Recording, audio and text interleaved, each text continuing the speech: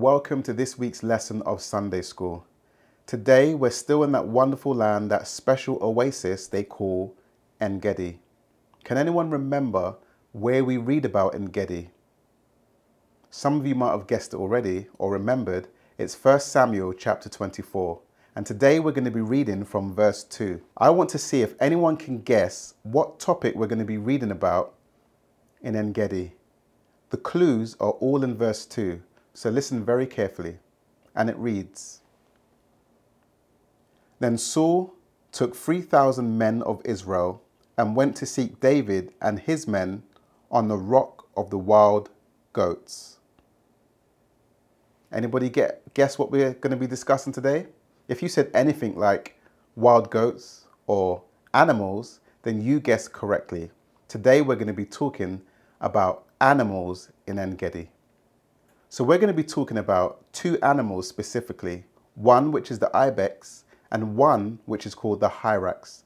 So the ibex is the wild goat talked about in verse 2. And the ibex, they grow from about one foot to about 5.5 feet. And that's from their hoof all the way up to their horns. These animals, they only eat vegetation. So they eat shrubs, grass, and bushes. They make their homes on cliffs where dangerous predators find it hard to follow. Also, they have an amazing ability to run up and down very steep surfaces very fast without falling down. If you and I was to try the same thing, running up high mountain cliffs and rocky places very, very fast, we would most probably fall down very often. But these animals have a wonderful ability to stay on their feet. And now the hyrax. There are three different types of hyraxes. There is the rock hyrax, which we're talking about today. There's the tree hyrax, and there's the bush hyrax. Concerning the rock hyraxes, they have a special ability to communicate with each other. They make these special or funny sounds to each other, which create a song. Isn't that amazing that these animals can actually create a song?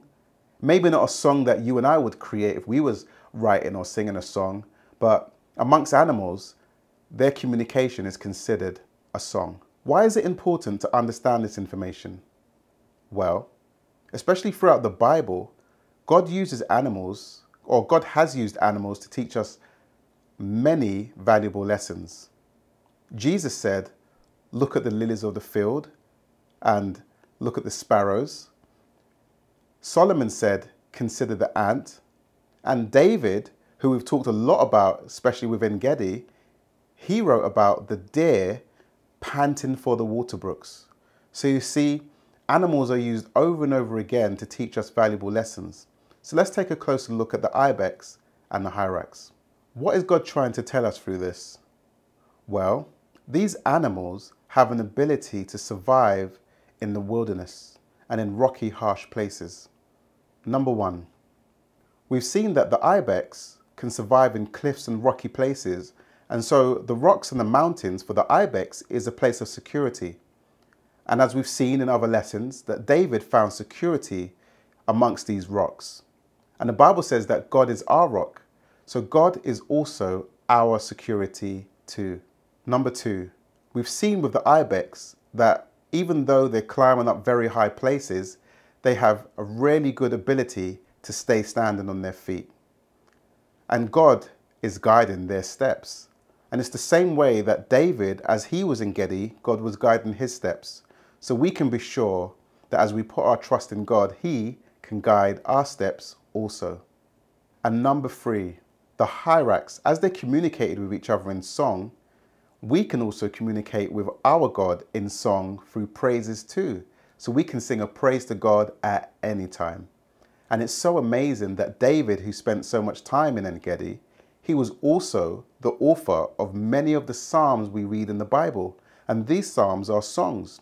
So David was also known as the great psalmist of Israel. So we can actually read some of the Psalms and we can sing songs also, and give praise to our God at any time. Well, for our homework today, what I would like us to do, I would like you to find out one more facts about the ibex. and find one more facts about the hyrax. I would also like you to find a picture of the ibex and a picture of the hyrax. For reading, I would like you to read Deuteronomy 14 verses 1 to 5 and Psalms 104 verse 18. And as you fill out your worksheet, you can write down the facts that you found about the hyrax and the facts that you found about the ibex. And from the pictures that you found, I would like you to either write down a description of those animals in your worksheet, or you can draw the pictures of them on the worksheet with a pencil or a pen.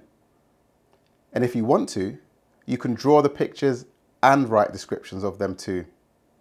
Well, that's it for this week. Hope you enjoy filling in your worksheet. And until the next time, God bless and see you soon.